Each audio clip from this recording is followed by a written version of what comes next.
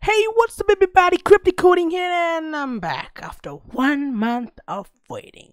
Finally, it's time to make some videos and thank you guys so much for 906 subscribers. You guys are insane. So first of all, what we will learn today. So if you watch this video till end, you'll find how to do this. So we have our tiny little character right over here to move and if I hit space, as you can see, you have the goddamn uh sword you can add much more stuff to it as you like but we'll just just gonna be focusing on the basics of everything how we do. So first uh, we need to make sure that everything is all right. First of all we need to uh, actually code the scene. Sorry about that. First of all we need to actually create the scene. Then we need to implement it. There's two parts of this tutorial. First we will create the suit scene okay? No you will be not going to be waiting for one month for another one another like videos or something like that another episodes. You will not be waiting that. I'm back okay will be a continuous schedule and there's a lot of stuff to do right now because the inventory is still there and i'm not uploading a lot of stuff okay? So without further ado let's get started.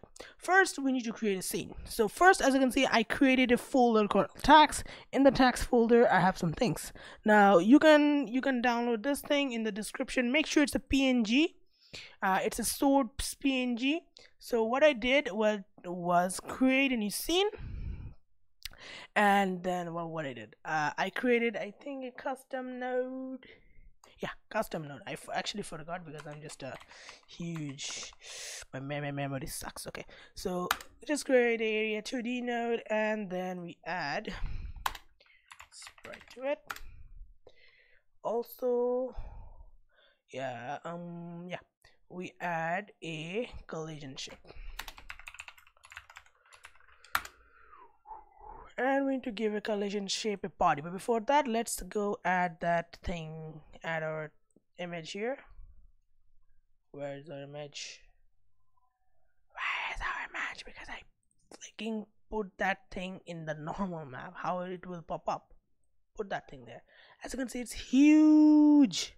Oh my god look how huge this thing is so first just get a shape done then we'll talk about how you guys can like shrink that. So we'll just go for a what?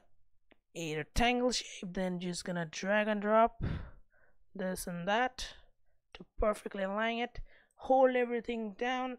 Click on this little tool right over here and then shrink it down like a crazy oh my god. How do I shrink? Control I actually forgot how to shrink damn it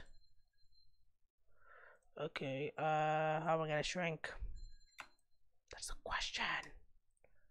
So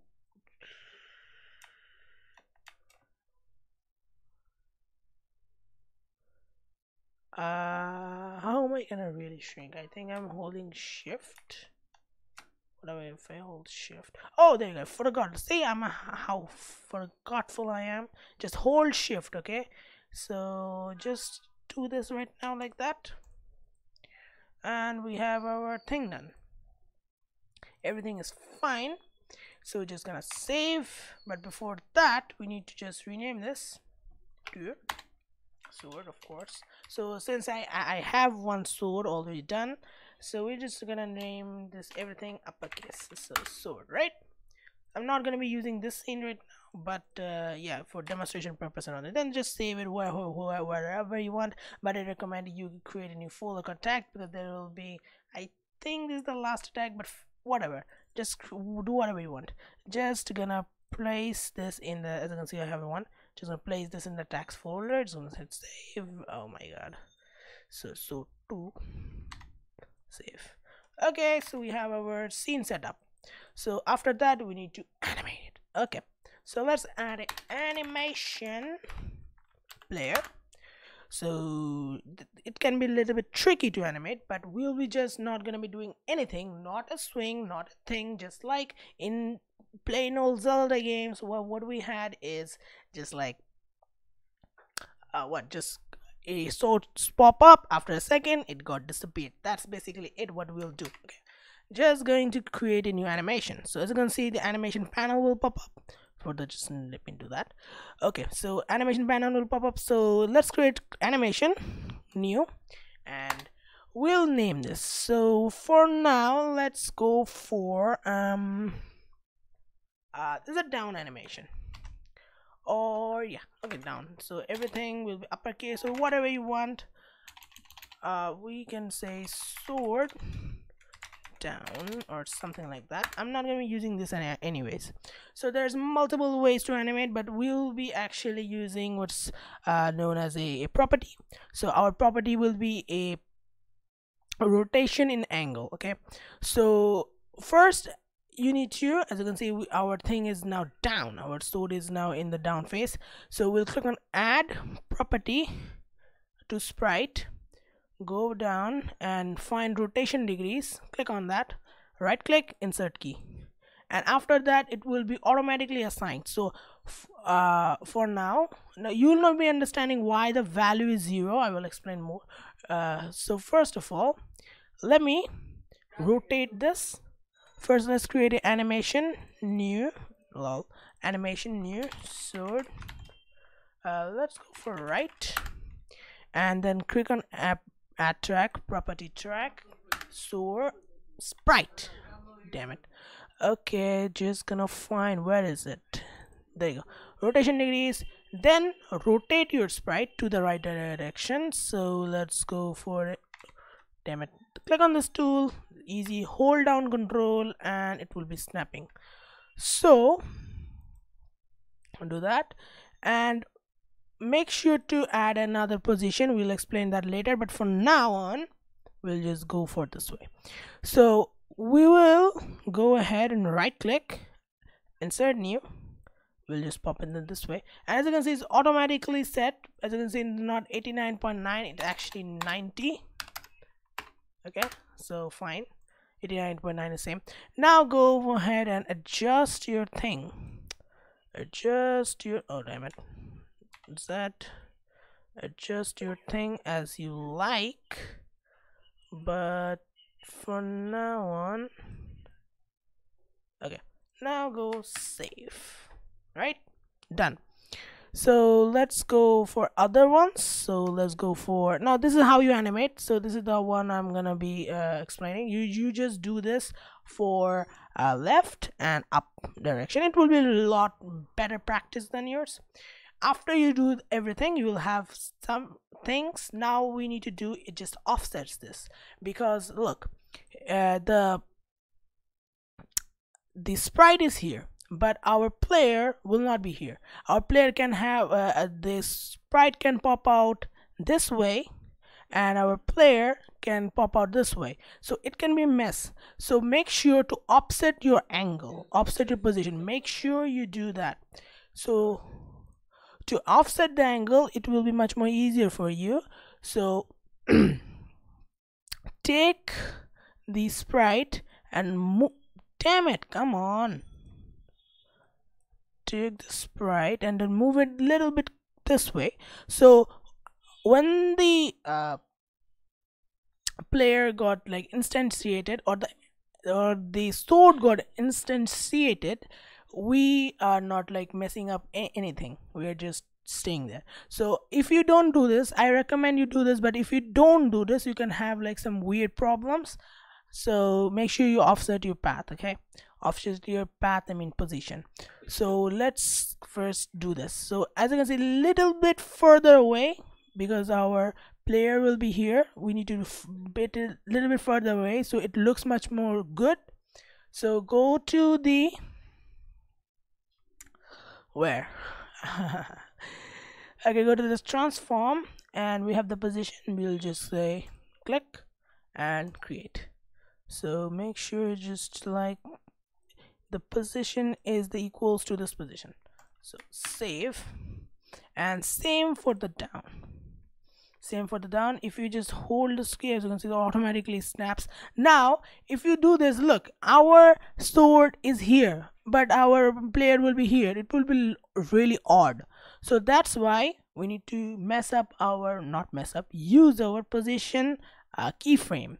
So that that's what, what I wanted to explain. So drag and drop this a little bit like that and click on the position key and click on the collision shape drag it around.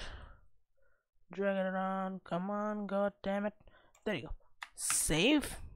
Okay. And then drag your position key angle here. Do do this for up and left. It will be easier for you i promise. Now if we mess up like it mm, have some key problems when we actually write the code don't worry you can change that later on. Just just do a draft or draft what i say. Then we will move on to the next section. So this is the second section right now. So let's go and code our thing. So i already coded that. Just just like usual. We'll go up. We'll have some variables. Oh let me zoom in here. First of all we're we need the scene. Of course we need the scene. So first of all i need to make sure i clear the logic. The logic is at a particular so first we our what our player is in the right direction. When we hit space a sword will pop out in the right direction and after some time it will disappear. Okay? That's basically the logic. So if you can code based on this logic then fine. Just skip this video and give it a try. I recommend you pause this video right now and give it a try. And if you fail come back and see the answer. It will be much more easier for you to understand what is going on. Okay first we need some variables. So i give you give you a time for now. Why i'm messing up so much? Come on damn it. Okay whatever. So we have a sword itself variable called preload. We're preloading the sword scene. Okay it's in the tags panel. And we have a sword item which is set to null. This is our main item okay? The item itself. But the sword is when we it's basically sword scene okay? So this is sword scene it shouldn't be like sword stuff it should be sword scene or whatever. And then we have a timer we can edit the timer in the inspector view. We go down and we have in the process function we have attack. That's where the magic happens. See it control it doesn't work. Mm. so this is our attack. So if you get familiar with how the match statement works and if statement works it is pretty damn easy to understand what is going on here. First is the if we hit the ui accept ui accept is the key for space enter and some other stuff. So if i go to project project settings and go to input map ui accept is enter kp enter i don't know what the heck that is. Space and device zero for the button. You can bind any keys if you want but i'm not going to do that. So now we we need to make sure that when we are in the pause stage we I mean we are in the idle stage we move. So we are matching with the idle. Remember those uh, that that that variable idle that we used to determine that which direction is our player is in right? So and then depending on the which direction we played the animation. Yeah that variable right there. If you didn't got it go watch my previous video okay? So now as you can see we're giving it a value yay. So we're saying we have a new sword item because that because this thing is weird okay this is for just gonna show the uh, compiler hey there is something. So if I explain this it will take a lot of time because it's a little bit complicated but for now just write it this thing. We need to instance this variable okay? So we have a sword item you say instance. Then we need to specify the position where the heck that position will be. The that position will be get node the sprite global position. So whatever the sprite is so what do you mean by sprite? It means this one this sprite itself. So sprites global position wherever uh, the sprite is in the game view. Then we need to say get node animation player play the right because we are in the right. We play the right animation. Then we have a we have some checks going on. Now what is this? It's because if we we don't need any duplicates so if you have a duplicate uh, sword item it will automatically return. There is no need to run this script right? If there is a duplicate item we just remove it. And there's a chance of duplicate items okay? So if there is just return this. We don't want that. So what we are doing is saying get the children of uh, I don't know why it said G but I, I don't care. So get parent get children and if it has sword item then just return because we have a duplicate right there. So after if it's if it's not returning it will output this. So get parent get child and sword item. So we actually add that item to our node tree. After that we need to start a goddamn timer. So as you can see we instantiate the sword. Now what you need to do is add a goddamn timer so as you can see we have a yield command. Now this is the new command you learn. Let's go search help and search for yield or like yield so yield it means there's a little bit complicated things going on. Stops the function stops the function execution and returns the current suspended state to a building calling function. Simply pausing okay? No need to worry about what the heck it does but it's just simply pausing. So as you can see we create get tree we create a timer of 0.2 seconds. So you can change this to a timer variable which i should which i didn't because i'm an idiot. So uh, get tree create a timer and we say timeout so there's multiple functions there. See if i hit this i don't know how i'm gonna see these functions but there's one called time timeout